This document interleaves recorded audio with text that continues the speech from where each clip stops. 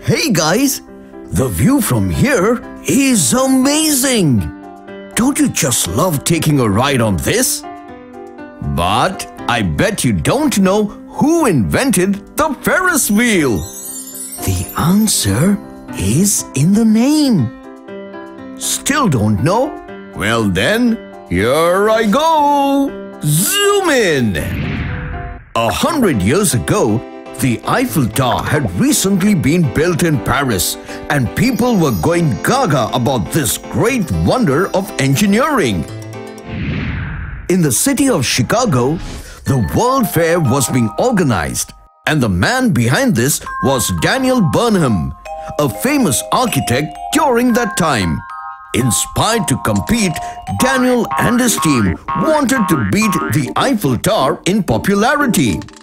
You know how it feels, right? When you see a friend's project and you want yours to be better? okay. So, Daniel called upon a meeting with architects and engineers and asked them to create a wonder better than the Eiffel Tower. The hero of our story was there too. A 33-year-old engineer from Illinois called George Washington Gale Ferris Jr. Phew, long name, huh? Quite a few people came to Daniel with ideas, but he did not really like any of them. Ferris was the only one who thought out of the box.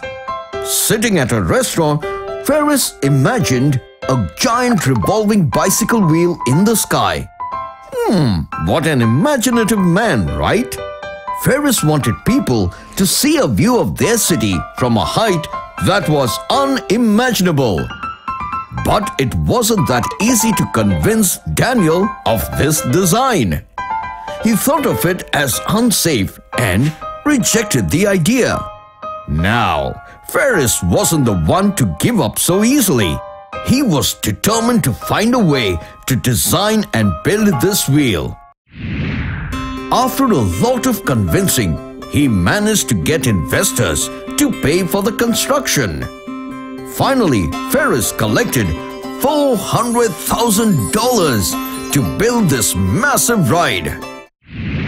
Different parts were manufactured in various cities and sent to Chicago. First, they built the foundation and erected two parallel towers. Then the wheel was placed between the pillars on a 45-ton axle with beams, spokes and iron rods to make it safe. Then, a steam engine was used to rotate the gigantic wheel and an air brake was also added in case the wheel needed to stop immediately. When it was complete, the Ferris wheel stood 264 feet tall that held 36 passenger cars, which carried more than 2,000 people at a time.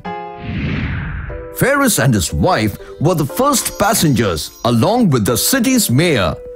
It was a grand affair and a 40-piece band played while they took their first ride on the Ferris wheel. In just 19 weeks, over 1 million people queued up for the ride. They could not wait to see the city from such a magnificent height. News reporters were printing articles after articles raving about the beauty. Soon after the fair was over, a lot of imitations of the Ferris wheel started popping up worldwide as it gained quick popularity. Sadly, Ferris got into a legal fight with the organizers and lost all his money. In 1896, at the age of 37, Ferris passed away in Pittsburgh. The Ferris wheel gave hope and gave way to many new technologies. Speaking of technologies, I have more for you. Trivia time! Did you know that the original Ferris wheel was also known as the Chicago wheel? The Ferris wheel earned $726,000 which turned into a profit of $395,000 for the company that commissioned it. The largest wheel in the world today is the High Roller, which stands 550 feet tall in Las Vegas. But wait, there is one wheel under construction in New York, which will be 630 feet tall.